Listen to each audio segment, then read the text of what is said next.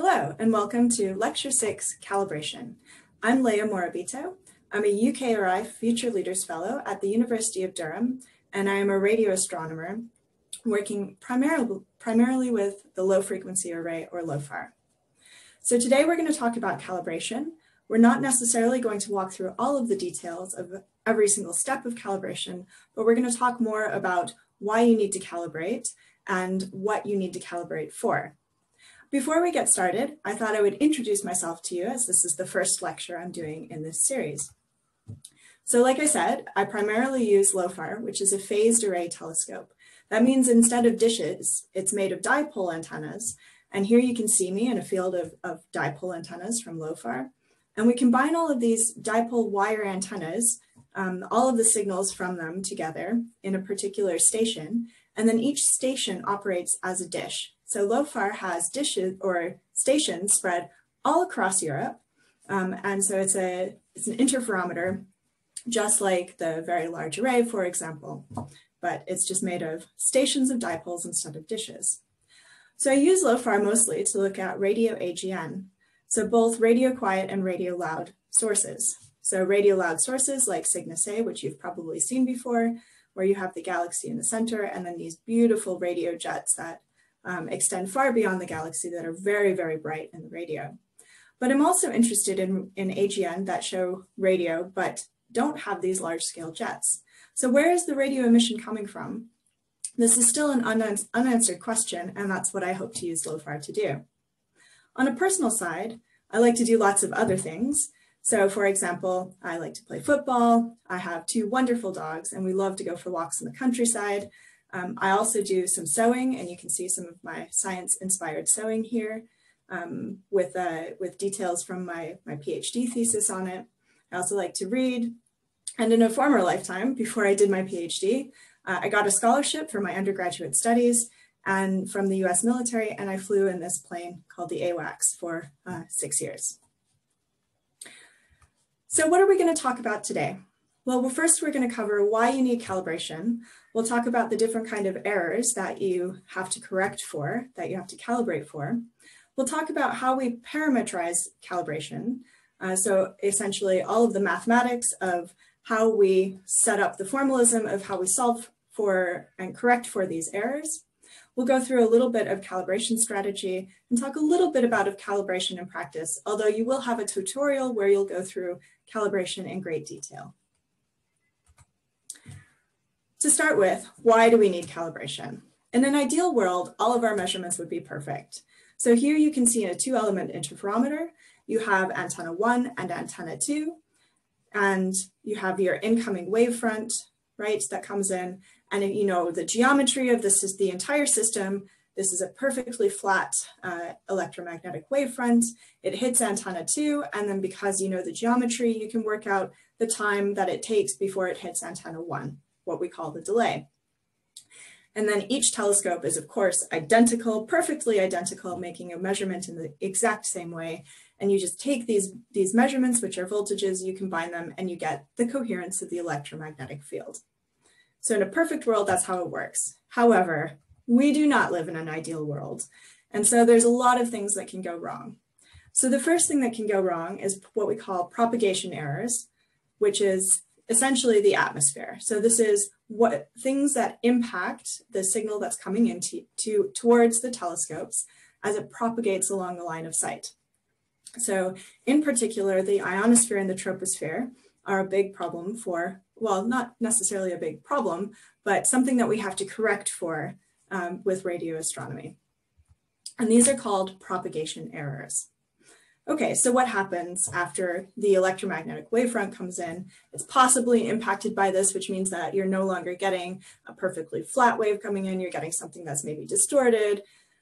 So you can also have what we call um, pointing errors, or sorry, geometric errors. And so this includes things like pointing errors, um, your antenna locations, if you don't know them well enough, or if your antennas have maybe moved.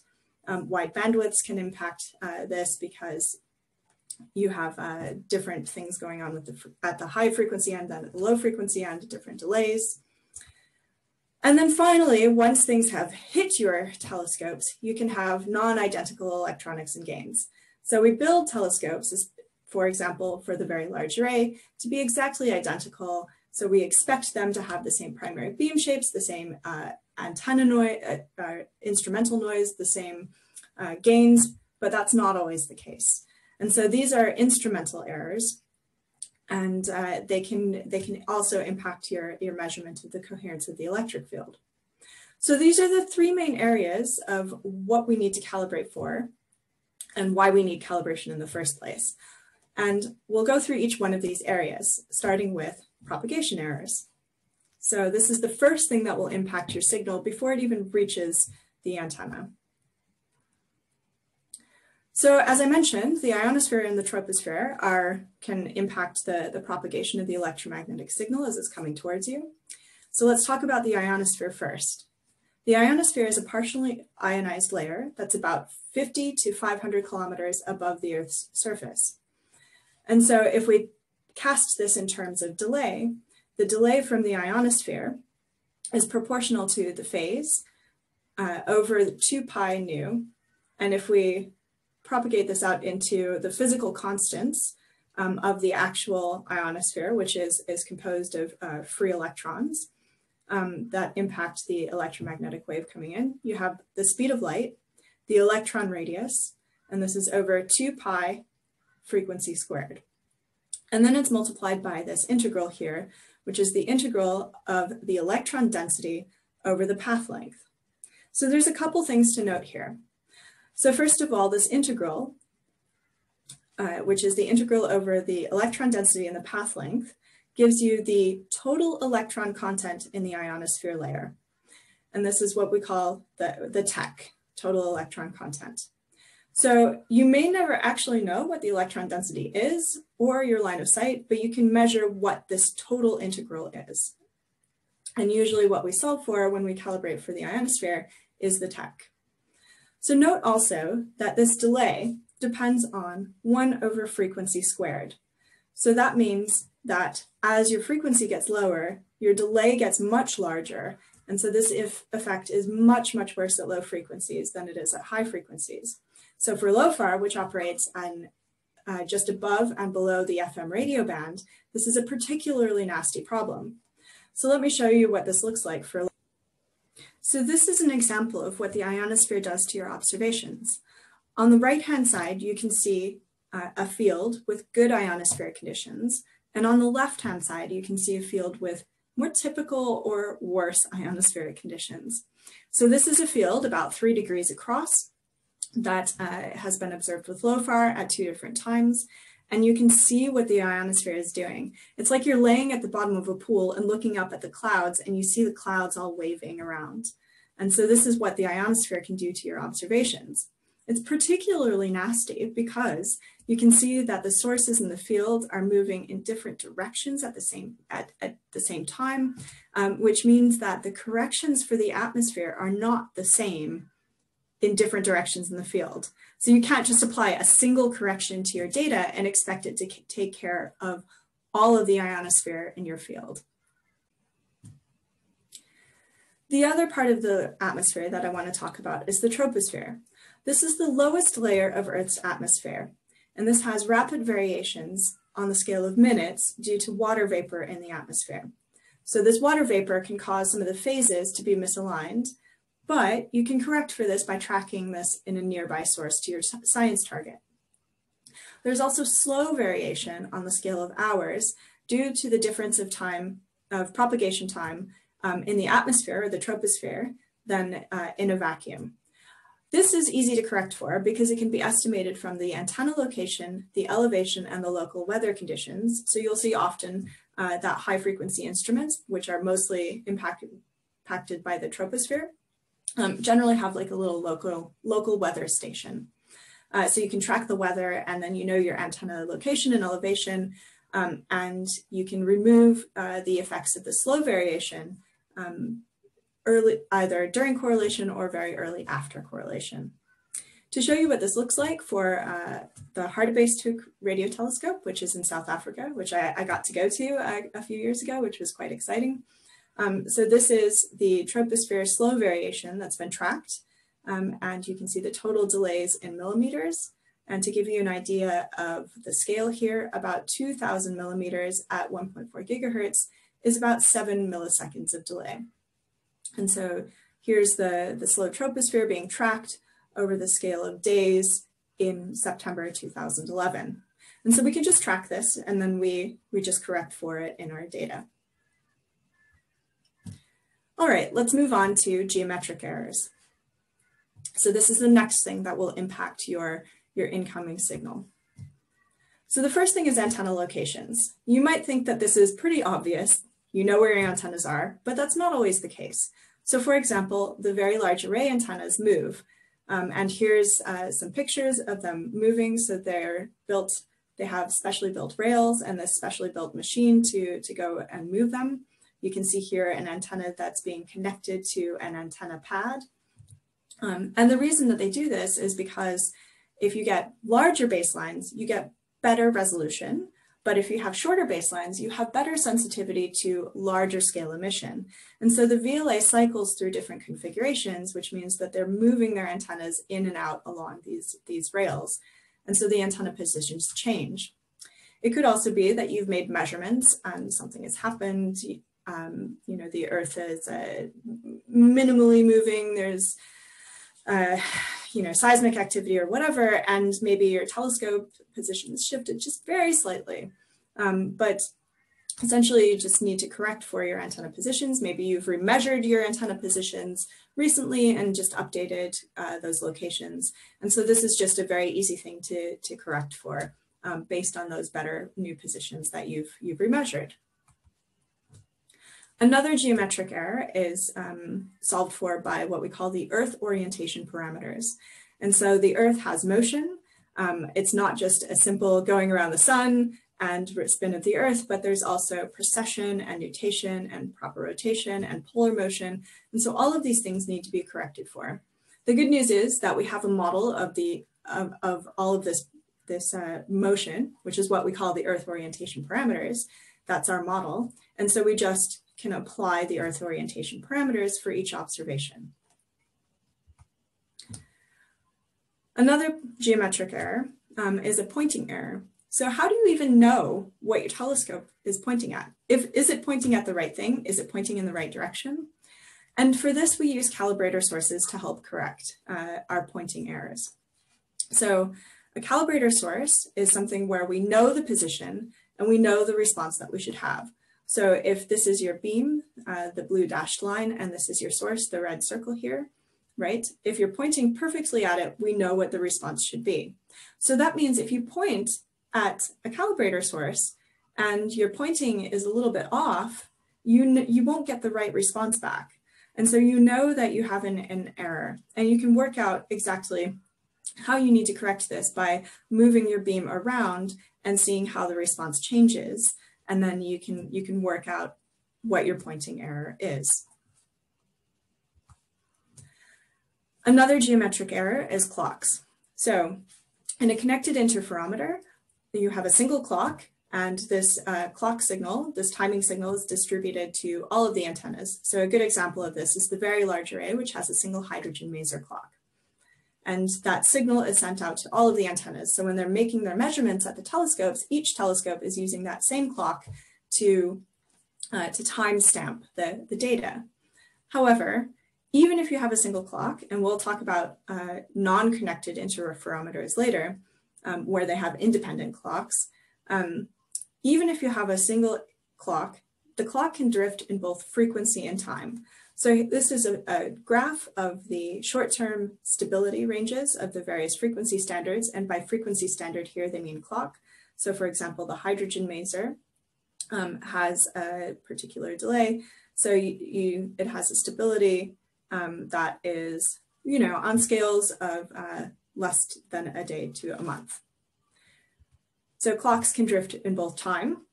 Um, and so it the clock value can change over time and this needs to be corrected for. And it also can drift in frequency. And so these can introduce uh, a geometric error because it essentially changes the delay um, in your in your in the model of your your system. The final type of error that we'll talk about is instrumental errors. So this can be anything from signal path effects, for example, cables shrinking or expanding with temperature will change the path length that the signal travels along to the correlator. Uh, when you digitize the signal also, um, you can introduce noise, auto leveling for the correlator, um, anything like this that impacts the, that you, any operation you do on the signal can introduce noise. You also have problems because you have non-identical antennas. And so these can have different primary beams, uh, they're seeing through different atmosphere, they have different gains, uh, variations in elevation can deform the, the dish um, as gravity starts to pull on one side of the dish more. Uh, so for example, Effelsberg, which is a very, very large uh, dish uh, that I got to go visit, um, which was quite fun. It's, it's really big. Um, but as this tips over, the, the weight of the dish will actually cause it to deform a little bit. Um, and then your primary beam changes a little bit because your dish shape is changing, for example. And so you can see that the different telescopes have different gain curves. But again, this is something that we understand and that we can, we can predict based on what we know about the observation parameters, and we can construct these gain curves and uh, correct for them. You also have instrumental noise, and here I'm talking about what we call system temperature. So we tend to measure the noise in units of Kelvin or temperature, and again, this is the system temperature uh, for Effelsberg, and you can see that it changes as a function of time, right? And so the system temperature is not stable, and this could be because you know the sky temperature is changing as uh, as different things come into into view. Um, could be changes um, uh, in the instrument as it's heating up, for example. And so this has to be corrected for. Another thing that you have to that you have to worry about is frequency response.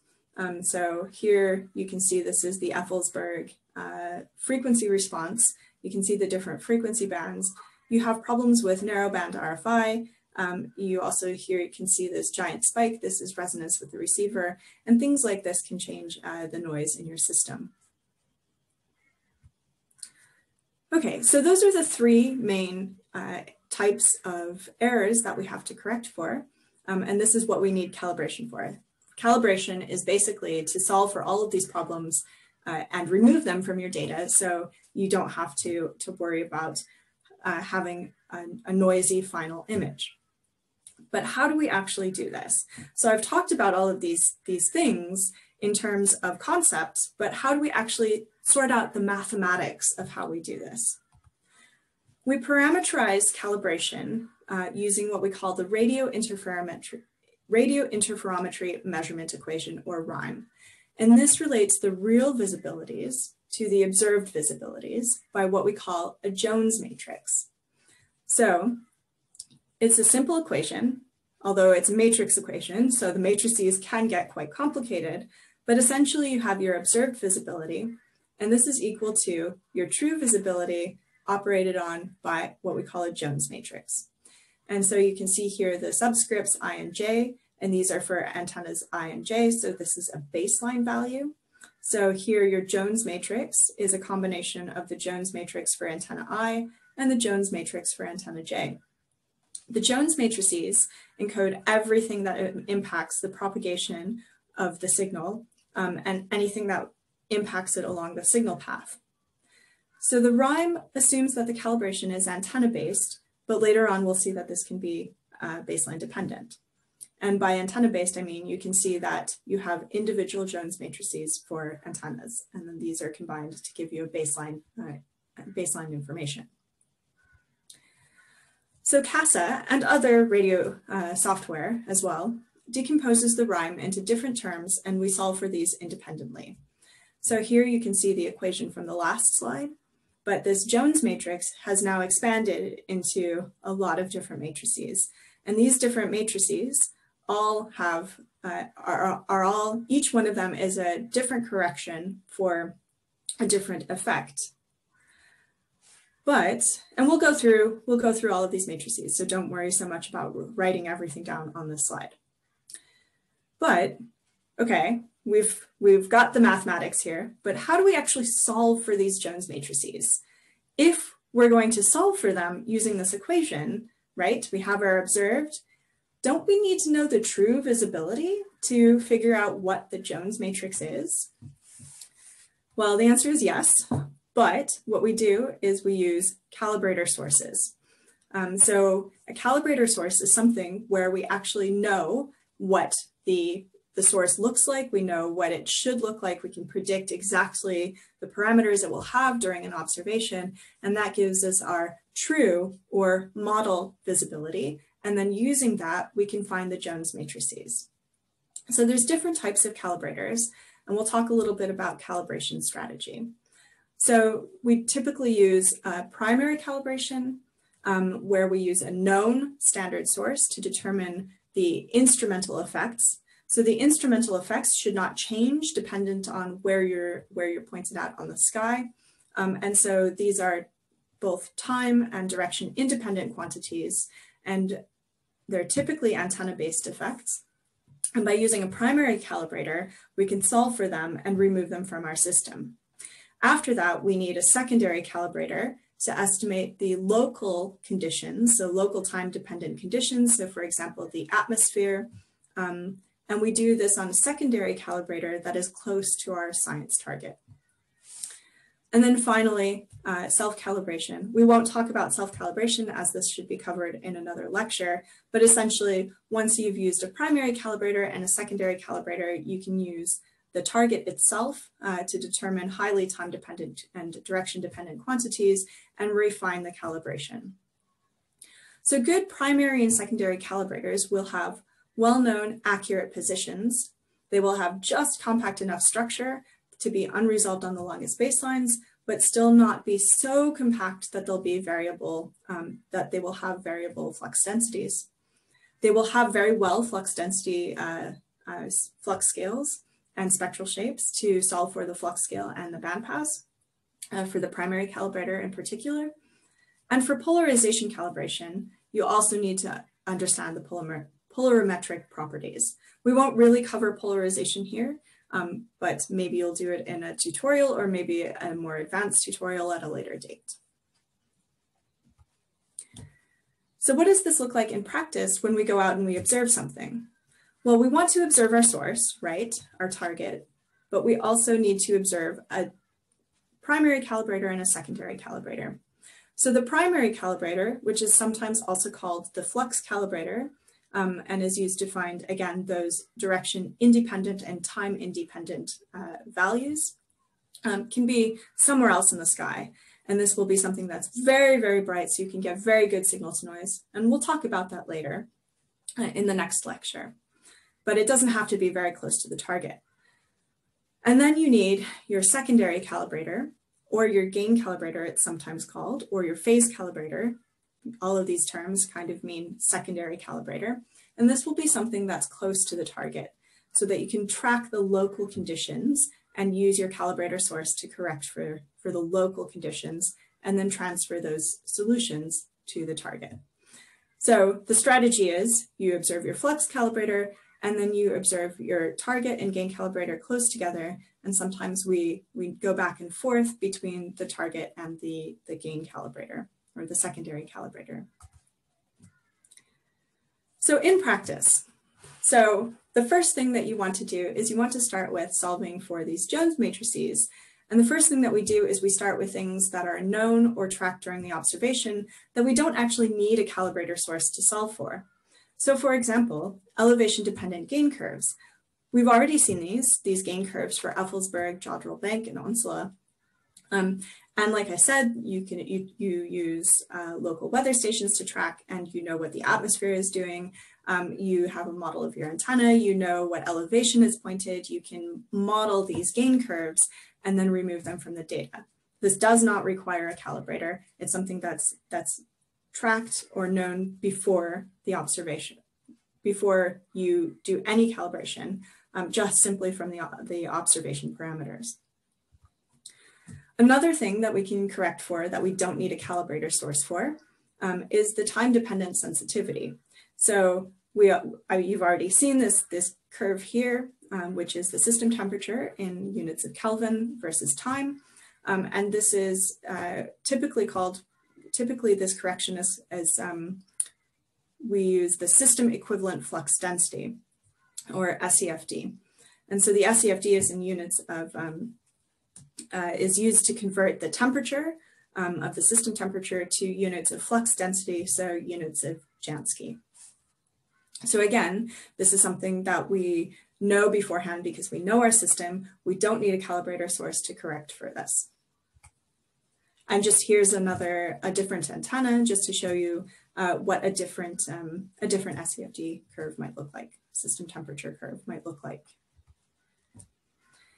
Okay, and uh, the third thing here that has a little green check is uh, the parallactic angle, um, which is something that you, you know just from the geometry of the system. And so again, you can correct for this.